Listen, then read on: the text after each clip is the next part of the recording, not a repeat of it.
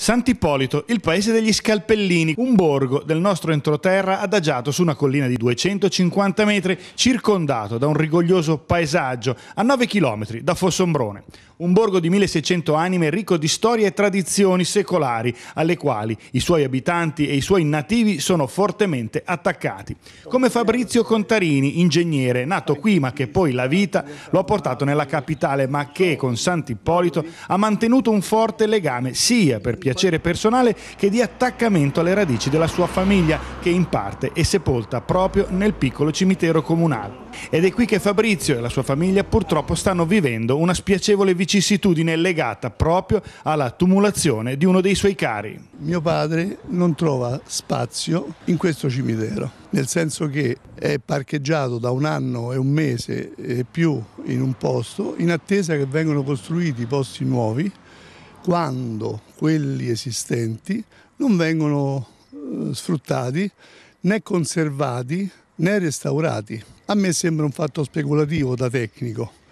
e, e quindi dico tutto questo ma non per un fatto personale, lo dico proprio per un decoro di Sant'Ippolito perché io ci tengo c'è tutta un'ala che sta crollando del cimitero nella parte destra, mentre si costruisce un'ala nuova. E non mi sembra giusto da tecnico buttare il vecchio per costruire il nuovo. Cioè non, i ricordi, se, se tornassero queste persone che non ci sono più, ci prenderebbero a calci nel sedere, penso. C'è una decadenza assoluta, addirittura manca l'impermeabilizzazione delle, dei loculi, per cui l'acqua meteorica che si infiltra giustamente, eh, che non dovrebbe, si infiltra in, nelle tombe, le dilava e inquina anche altre, altre, le falde acquifere che ci sono, cioè non è, non è un,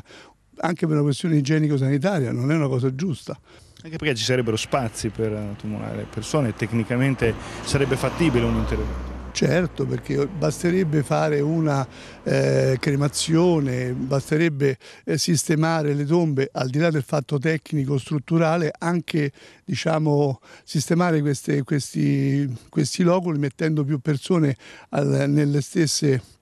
stessi familiari che magari lo desiderano anche come il mio, eh, anche altri magari, ma non per un fatto di risparmio, per un fatto proprio di conservare i ricordi che le persone che ci credono fa piacere come a mio padre per esempio stare con il padre oppure stare con la madre, con una sorella, cioè tutte le sorelle e i fratelli sono stati messi tutti insieme. Non so per quale fatto coincidente, però questo è stato fatto. Perché mio padre deve stare da solo, buttato in una parte ripeto, se uno ci crede, eh, è un conservare, rispettare i morti e non è giusto questo, rispetto dei morti.